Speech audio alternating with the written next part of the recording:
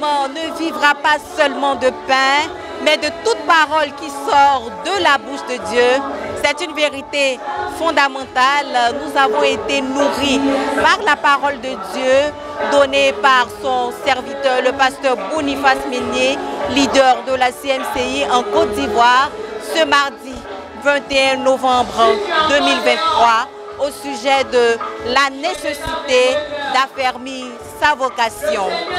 Malgré le jeûne complet de 40 jours, nous sortons d'ici fortifiés comme si nous avions pris une nourriture solide. Bonsoir et bienvenue dans votre émission. À vous la parole. Je suis euh, le pasteur Vincent Zaba et aujourd'hui, mardi 21 euh, novembre, nous sommes venus, comme tous les mardis, à l'enseignement. Et aujourd'hui, Dieu nous a accordé la grâce encore euh, d'écouter le pasteur Ménier Boniface qui nous a parlé encore de comment affermir sa vocation. Et donc, euh, ce qui m'a surtout marqué, c'est comment il nous a parlé, il nous a enseigné pour dire comment nous devons affermir la vocation de notre assemblée, même des, disciples que nous avons. Et donc, euh, les éléments, les vertus, il y a la patience, il y a l'humilité, il y a la capacité de pouvoir supporter aussi les autres.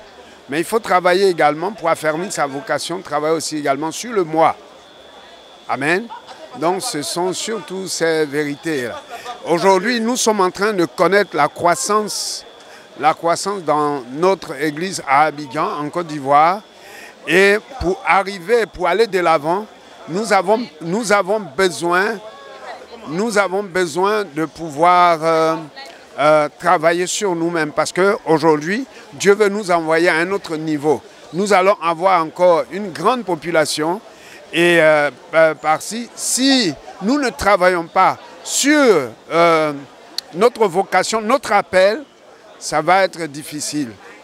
Aujourd'hui, là, nous sommes pratiquement à la fin de, de, jeûne du ministère où Dieu voudrait avoir donc euh, des dirigeants remplis du Saint-Esprit.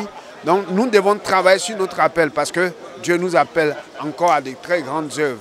Et donc c'est surtout ce qui m'a marqué et je bénis Dieu d'avoir participé à l'enseignement d'aujourd'hui. Merci.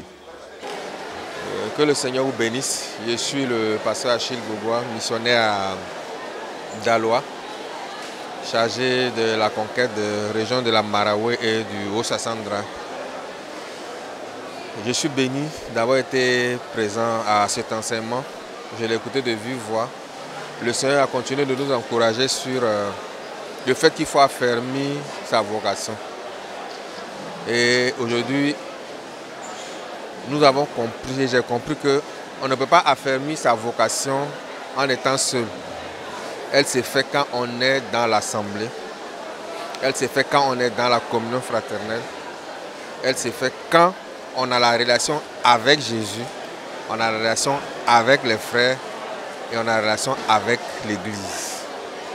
Et que pour que cela soit fait, il faut vraiment travailler.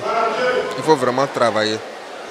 Que si quelqu'un n'a pas affermi sa vocation, s'il n'a pas été ce qu'il devait être, c'est lui-même sa propre faute.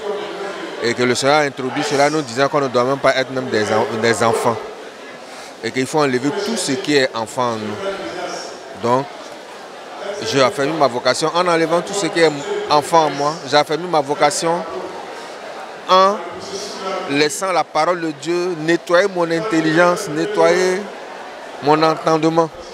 Pour que mon intelligence renouvelée puisse instruire mon cœur, pour que je puisse marcher comme vraiment Dieu veut. Je suis béni, je rends grâce à Dieu et je pars pour mettre cela en pratique. Que le Seigneur vous bénisse. Que le Seigneur vous bénisse. Je suis le pasteur Jean-Paul Apotry. Je bénis le Seigneur pour euh, l'enseignement qui nous a été donné ce soir encore. C'est un message qui, qui, nous recadre, qui nous ramène tous dans le corps de Christ, qui nous ramène euh, dans un travail d'unité, de consolidation de notre base, afin que euh, nous puissions constituer véritablement un corps pour marcher dans les voies de Dieu, et contribuer à l'affermissement de tout l'ensemble de ce corps. Donc ce qui nous a été donné ce jour, c'est les bases qu'il faut en chacun, notamment euh, l'humilité, la patience, l'amour, euh, l'engagement, la discipline, etc. pour que l'ensemble du corps que nous constituons soit solide pour promouvoir davantage les œuvres de Christ au milieu de nous et dans le monde qui nous entoure.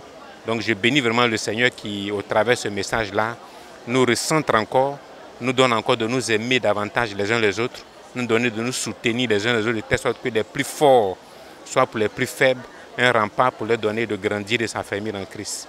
Et j'ai dit merci au Seigneur pour ce message qui vient à point nommé. Que son nom soit béni. Merci beaucoup. Je suis le pasteur Paul Bach. Je suis le disciple du pasteur Meyer Boniface, ancien de l'église d'Abidjan. Euh, il faut dire que ce soir, nous venons d'écouter un grand enseignement, euh, euh, affirmer notre, notre, vocation. Et au sortir de cet enseignement,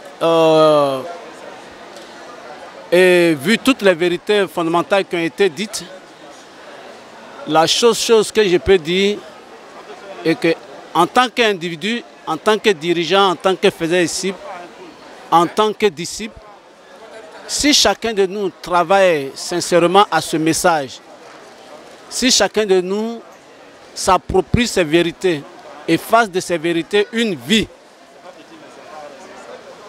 l'Église a gagné. Et l'Église a gagné. Et c'est ce que le Seigneur nous demande dans ces temps-ci.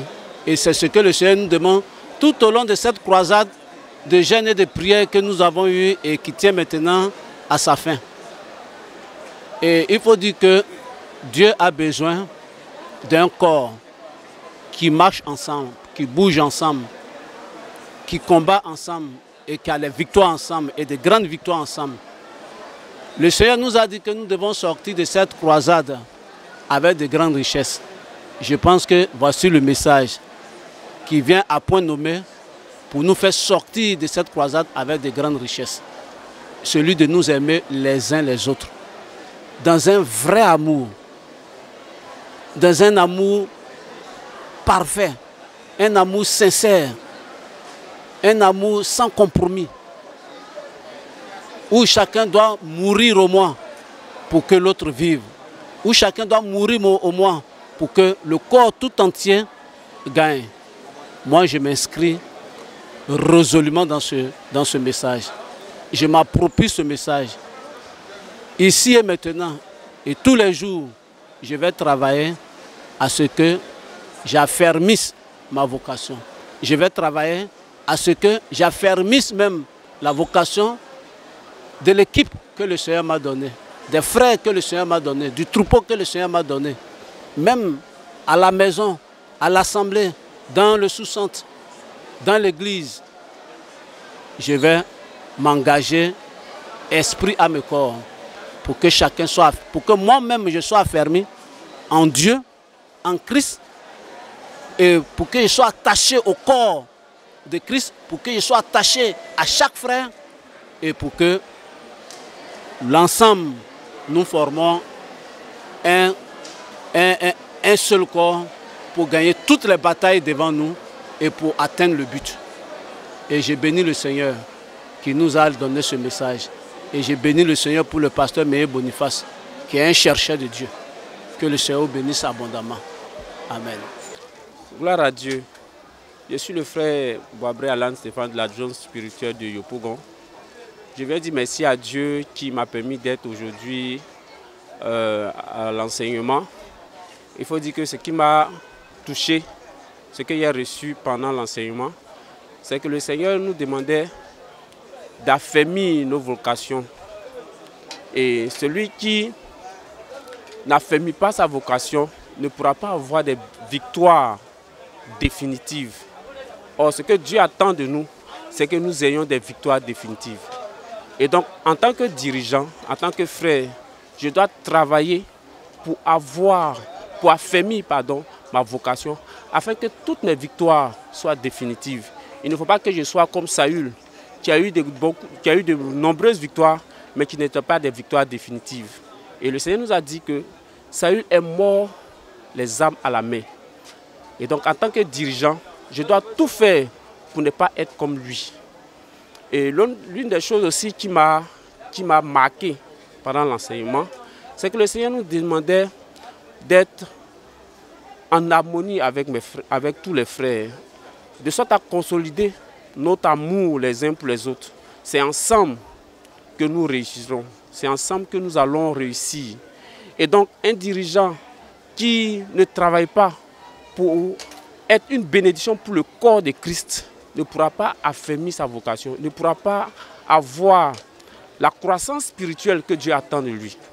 En tout cas, je dois travailler sur moi-même pour mettre, pour mettre en pratique ces vérités-là et entraîner tous les troupeaux qui est sous ma responsabilité à travailler pour affermir les vocations. Vraiment que Dieu nous bénisse et que Dieu permette que cet enseignement-là soit revu, médité, pour que nous ayons une église qui réussisse dans ce domaine-là. Que Dieu vous bénisse abondamment. Merci beaucoup. Je me nomme Ngoran Dourené. Je faire d'ici le pasteur Miné Boniface et je suis missionnaire euh, dans le département de Mbato. Aujourd'hui, ce que nous venons d'entendre de la bouche du serviteur de Dieu, en tout cas me réjouit.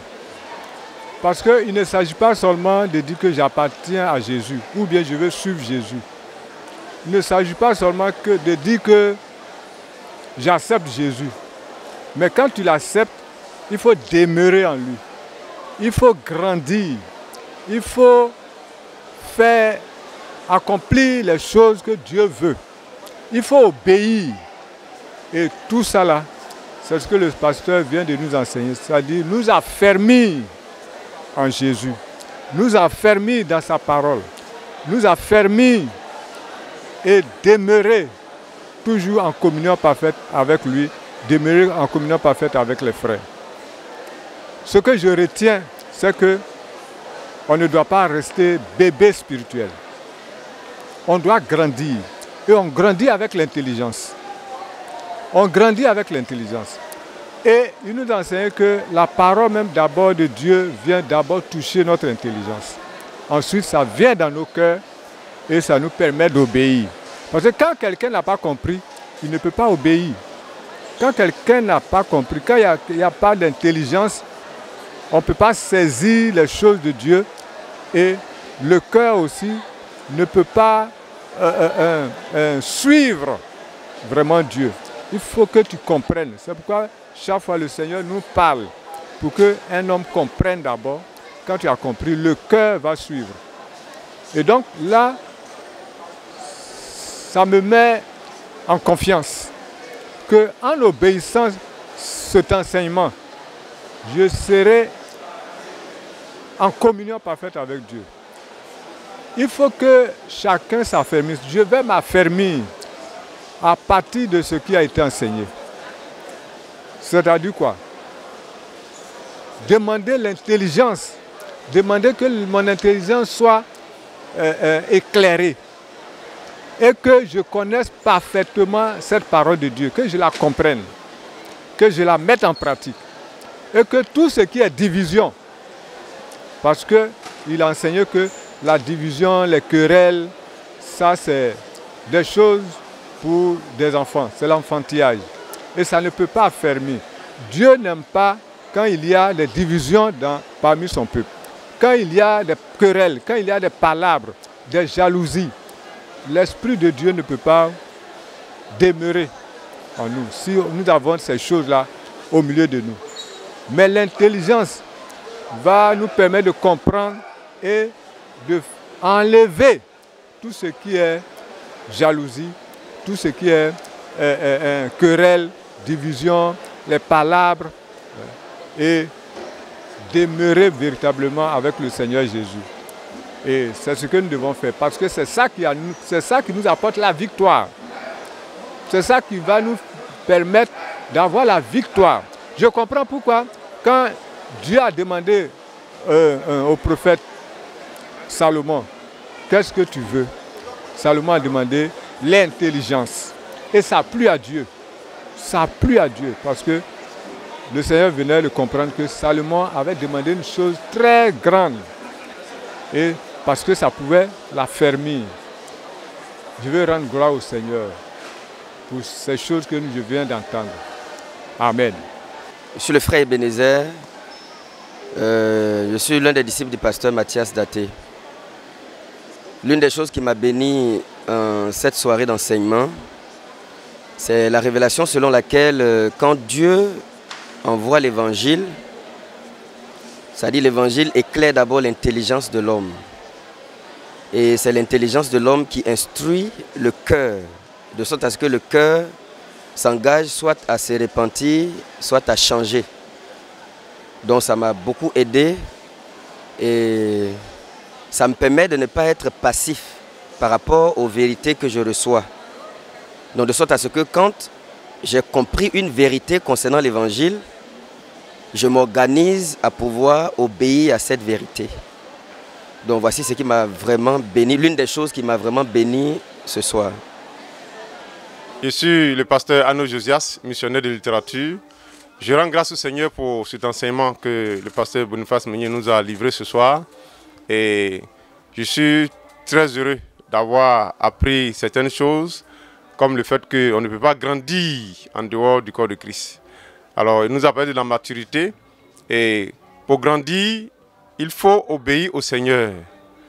Il faut ne pas se conformer au monde, mais selon ce que la parole de Dieu nous enseigne. Et donc, il faut d'abord être humble, il faut être doux, être patient avec les frères. Ceci m'a beaucoup marqué. Et il nous dit que nous devons laisser notre intelligence être renouvelée par la parole de Dieu. Si notre intelligence est renouvelée, nous allons comprendre Comment aimer nos frères comme Christ nous a aimés Si nous ne comprenons pas ça, nous ne pouvons pas pratiquer.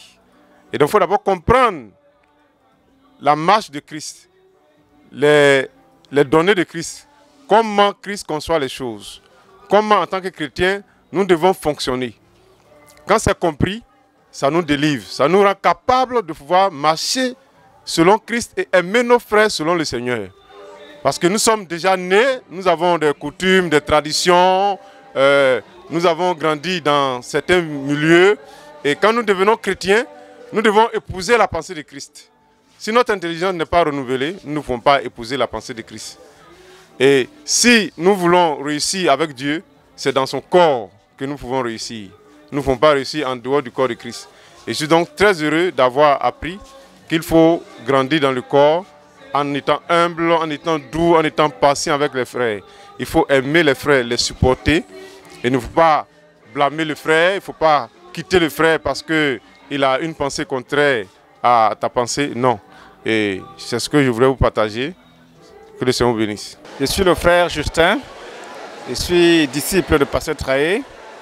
Et cette journée a été une journée particulière parce que Dieu nous a bénis avec un message un message intense, un message riche, et notamment le fait que l'évangile que nous prêchons touche d'abord l'intelligence. L'enjeu, c'est l'intelligence. Et c'est lorsque notre intelligence est renouvelée par l'évangile que l'intelligence instruit le cœur.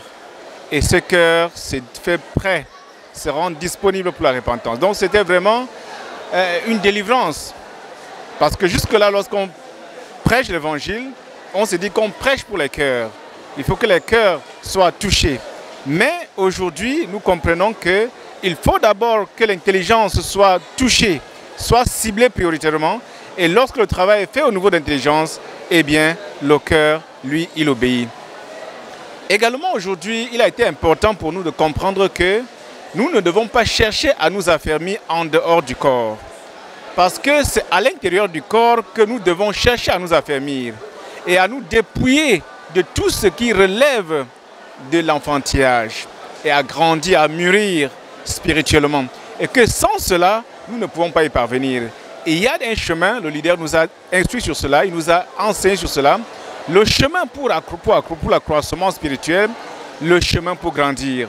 La formule est là le Seigneur a déjà tracé le chemin Ce n'est pas à nous de le faire. Il y a beaucoup de choses qui ont été dites qui contribuent à nous faire grandir spirituellement. L'humilité, la patience, la douceur, l'amour. Lorsque nous mettons cela en pratique au sein de notre corps, en tant qu'enfant de Dieu, il n'y a pas de raison qu'il n'y ait pas de croissance, il n'y a pas de raison qu'il n'y ait pas, que nous ne grandissons pas spirituellement. Donc je pense qu'aujourd'hui, c'est vraiment un grand jour où nous avons énormément appris. Le Seigneur nous a appris énormément aujourd'hui. Et je prie que ce message qui a donné aujourd'hui, que nous nous approprions ce message. Que le Seigneur ouvre nos yeux, qu'il ouvre nos cœurs pour que nous comprenions que nous ne pouvons pas nous affermir en dehors de corps. Que nous avons besoin de nos frères, de chacun, pour grandir spirituellement. Et que nous devons faire taire toutes les querelles, toutes les velléités de division au sein du corps de Christ. Que nous devons cultiver l'amour au sein du corps de Christ pour grandir. Et ce n'est qu'en cela que nous pouvons être véritablement appelés enfants de Dieu. Ce n'est qu'en cela qu'en tant que dirigeants, en tant que frères de disciples, en tant que frères, nous pouvons faire grandir la communauté et grandir nous-mêmes. Donc voilà ce que j'ai à dire par rapport au message d'aujourd'hui. Vraiment, c'est une joie d'écouter de tels messages. Parce que c'est vraiment une bénédiction.